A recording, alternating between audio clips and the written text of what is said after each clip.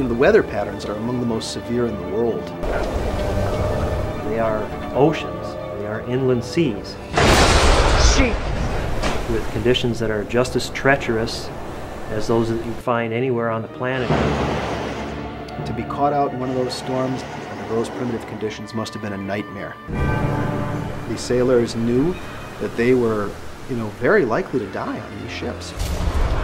That many tons of water would collapse the hatches and just send the ships to the bottom. Since commercial sailing began, something like 40,000 sailors have lost their lives. Every one of those ships has a story, and the vast majority of them have never been told. In fact, many of those ships have never even been found. They're still missing.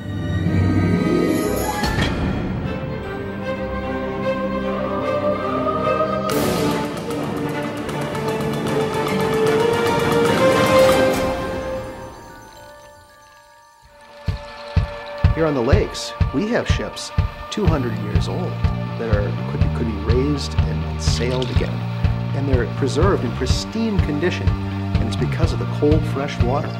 It's almost like you could see the people going about their business, just as if it was still sailing. As you're swimming around the deck, there's china serving platters and porcelain pitchers and china dishes and cups, unbroken. You can actually see what the wreck looked like uh, the day that it sank. And a lot of the wrecks that we're diving still have the names painted on them. There's still tools sitting in some of the tool room. Dropping down on something and seeing something that hasn't been seen for 100 years, it's up there with, with seeing my, my children being born. You know, it's, it's, it's incredible. I mean, it's, it's a great piece of history. It was Great Lakes shipping that helped build the nation. There were thousands of these ships. They carried the iron ore and the copper and the, the coal. Um, they carried the grain that, that fed this country. Brendan's kind of the head ship nerd. And there were a lot of different directories. Back in those days, they had to publish these directories that would tell you how to sail the lakes. Came off the schooner Saucy Jack out of Port Ryerson, Ontario. It'll tell us what direction that ship would have been sailing in 1868. A shipwreck is a lot like a crime scene. What was that ship doing there? Why did it sink? And I'll find out who those people were. What did they do for a living? Who were their parents? You know, where did they come from?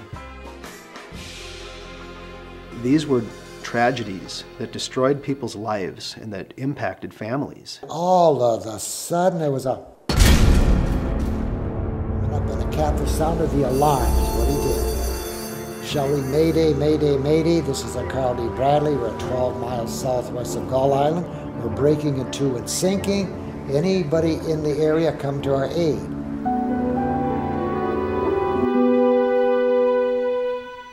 Case of the Bradley, uh, almost all of the 33 men that went down on the ship were from one town, Rogers City, Michigan.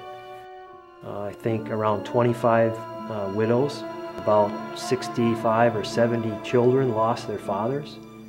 I mean, it just devastated that town. You just kind of wonder what went through their mind these, these last minutes, last hours. of.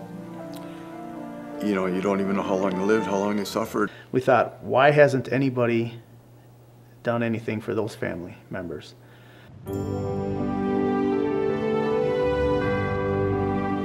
Really believe that the family members deserve some kind of memorial, and, and what's more fitting than the ship's bell. Frank talks about the ship sank at roughly uh, 5.30 p.m. while we shot footage inside the engine room and on a gauge cluster there's a clock. The clock stopped at 5.36 p.m. We had about 35 minutes in which we had to complete that job, so we needed something that would cut very quickly. And the only thing that would do that is a flame tube plasma torch.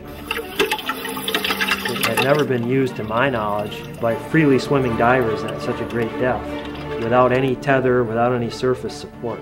If the torch were to accidentally strike one of the tanks, it would, it would rupture the tank and probably kill the whole team. It was scary. I wasn't sure we were going to be successful. Uh, there was a point in the first dive where I wasn't sure I was going to come back, but it's the most rewarding thing I've ever done. We wanted to make sure Frank was the first person to touch that bell. Carl D. Bradley. Success. God, what a feeling. Congratulations, Frank, you deserve it. I mean, it was the greatest thing I've ever done. The bell on display and the family members are uh, in the room with the bell for the first time. None of them are saying anything. They're touching the bell. They're crying. The looks on their faces. They're hugging each other. I mean, that that says it all. We're tickling the tail of a sleeping dragon, and if the dragon wakes up, we have to be ready to deal with it.